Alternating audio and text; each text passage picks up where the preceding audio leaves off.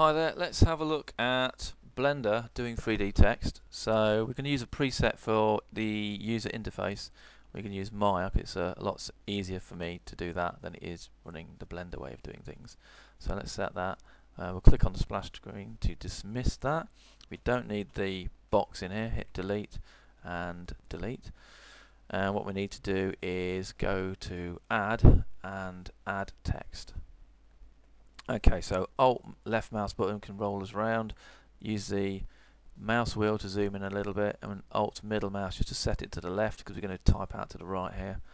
Uh, maybe put it about there. There we go. So we're in object mode at the moment. We've got it selected because we've got this orange outline. Yeah, so it's not selected. Ba bang, it's selected. Um, we need to be in sub-object mode, or what do they call it?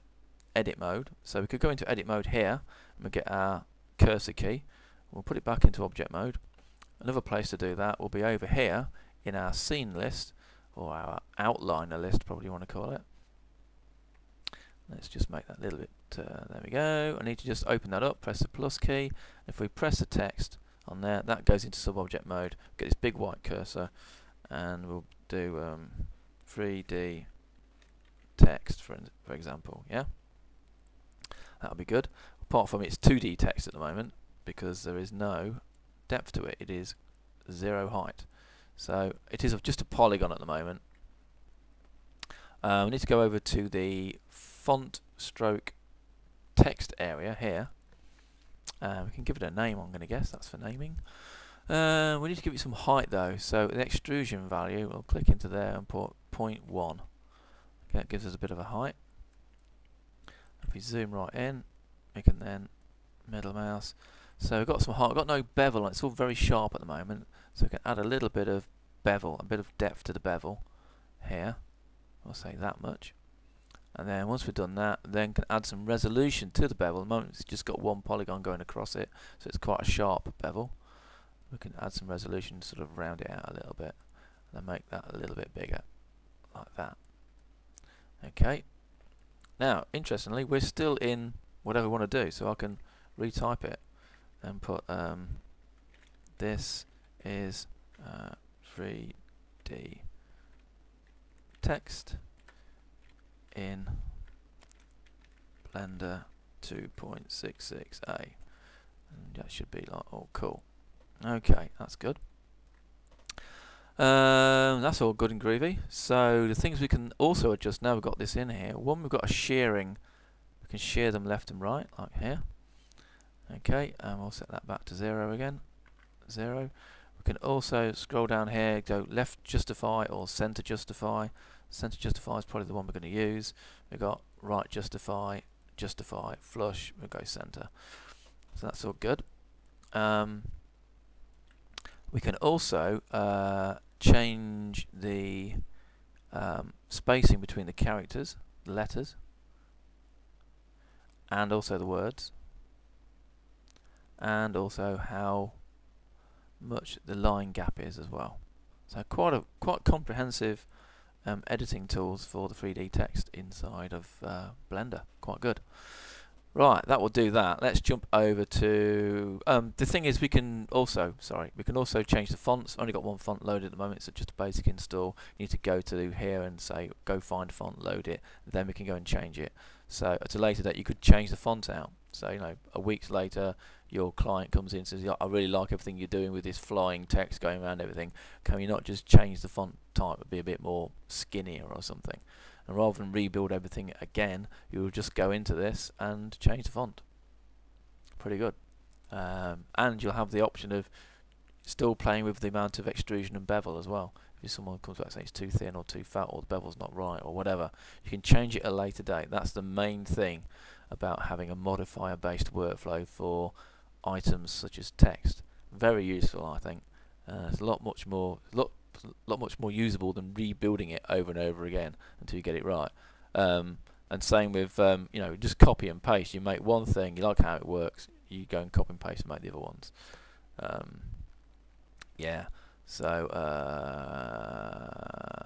I don't even know how to copy and paste it. You know. Text tools, copy, cut, paste. Uh, I'll have a look at let's go into Max. I know that one works. So yeah, blang. We're in Max. How exciting. So uh, creation menu, not 3D, 2D, uh, text, click and drag. No, there we go. And we're going to make this overall size is 100. Okay, it's better. Right, there we go. And at the moment it's just a 2D spline. If we go to uh, render this, we don't get anything rendering, I don't think. Nothing will render. Um, so we need to give it some depth to it. So we need to go and add a modifier, and we're going to go and add uh, here. We're going to go and add the bevel modifier, and that's all great and wonderful. It's already got a preset one, so let's get level three off for the minute. So we've got um, how how much of an extrusion on level one. You level two and level three. So level two and level three would give you the option of giving you a front and a back bevel if you want to. Um, in which case level 1 would be the back bevel, level 2 will be the extrusion, level 3 would be the front bevel. But we're just going to do front bevel, so level 3, give it 1 and make it uh, minus 2. How's that? Okay, it's minus 2, Stephen. There we go. See how that looks. So, yeah, it's only tiny, isn't it? So let's make it Let's do that. There we go, that's better. Okay, um, it does have the number of segments, but if we put on F4, it is doing a straight line on this. Yeah, it's not curving. If I go curved, then it sort of does that. It doesn't do what I think it's going to do. Um, smooth across levels, doesn't seem to know about that. Keep items from crossing. Yeah, so it doesn't want to do a curve as such. Curved sides just doesn't doesn't do what I think it's going to do, basically. But um, one of the good things about this is I can, for instance, I can show you copy and paste. How it works there. Just hold down Shift and drag, and we're cool with that. It's a copy, and then we'll make my next text object, and we'll just go into here and um, is this not is this not cool? And it's, yeah, it is cool. It's quite nice. And then, uh, yeah, there you go. And again, you know, for just speedily doing things, and yeah, it's just really quick. And then you've got your 3D models. So, duh, needs to be done in most programs, I think, because very, very, very, very useful. And um, that sort of concludes that. I think that should do, shouldn't it? Um, you know, then you'll get your render. Bloop. 3D text. There we go. How exciting. Uh, yeah, that'll do. I reckon that'll do. So with that, we'll quit and uh, catch you later. See ya. Bye.